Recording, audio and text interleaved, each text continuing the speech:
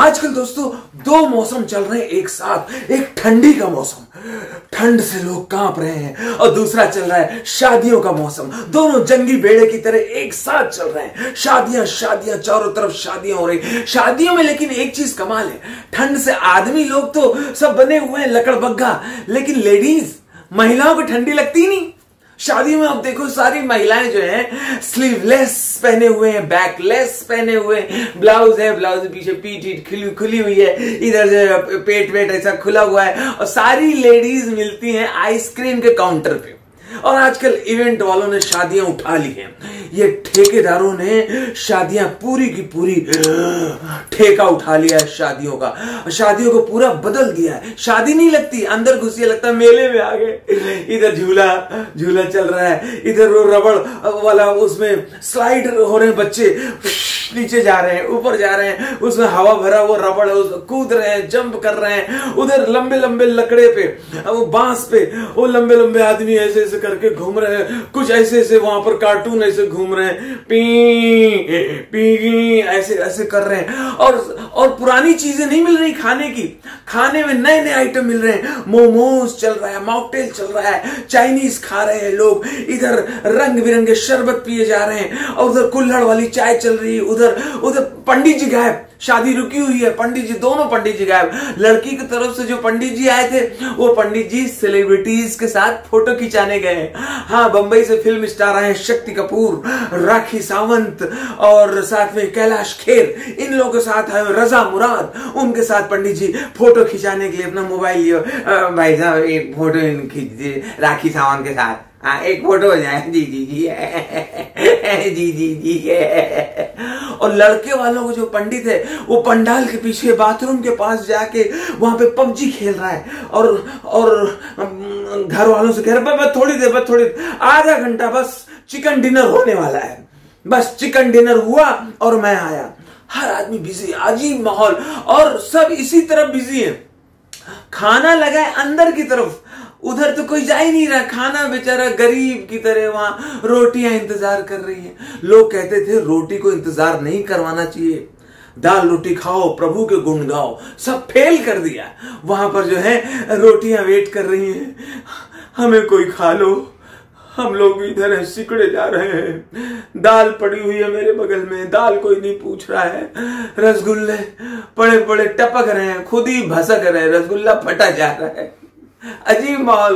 उधर कोई जा ही नहीं रहा, सब यहाँ पे लगे हुए हैं। Momos, PUBG PUBG, chicken chicken dinner, jumping हो रही है, कूद रहे हैं। मॉकटेल लाओ, माहौल एकदम बदलाव कहवा बीच में कोई ले गया कहवा लीजिए कहवा क्या बात हो गई? किससे कहवा वो कहवा है कहवा अच्छा अच्छा गर्म इतने छोटे से कुल्लड़ में। स्टाइलिश स्टाइलिश शादियाँ चल रही लेकिन भाई साहब ये जितने इवेंट वाले होते हैं, जितने ठेकेदार होते हैं शादियों के, ये कैटरिंग वाले, ये प्लेट छोटी क्यों लाते हैं? शादियों में प्लेट हमेशा छोटी पड़ जाती है। घर में हम लोग खाते थाली में, बड़ी थाली में, कुछ छोटा नहीं पड़ता। प्लेट लाएँगे, इतनी बड़ी खाने की चीज़ें, इतनी सारी चीज़ें उसमें आती नहीं। कोई दाल में, वो वहाँ पर रसगुल्ला घुसा जा रहा है, दही बड़ा उधर घुसा जा रहा है। वो कह रहा है, आप यहाँ आए किस लिए? तो दही बड़ा कह रहा है, आप ही लेके आए, इसलिए आया। इसलिए गाना गा रहे हैं, क्या चल रहा बदतमीजी दाल उधर घुसी जा रही है, उधर घुसा है। कोई ये सब वेजिटेरियन के ऊपर वहाँ पर ये हड्डा रखा हुआ है। लो, नल्ला निहारी ले आए। नीचे शाकाहारी ऐसे दब गया। शाकाहारी कह रहा है यार हमें लाए क्यों तुम लोग? यार ऊपर क्या रख दिया? हटाओ। दाल चावल कह रहा है कि मुझे इससे छुआओ मत। नॉनवेज में छूता नहीं हूँ नॉनवेज में खाता नहीं हटाओ इसको, नल्ली निहारी, हटाओ। हड्डा रखा है, हड्डा हटाओ। उसको हटा रहे हैं। उसको खा रहे हैं। अजीब माहौल बना हुआ है। पर ये प्लेट छोटी क्यों रखते हैं?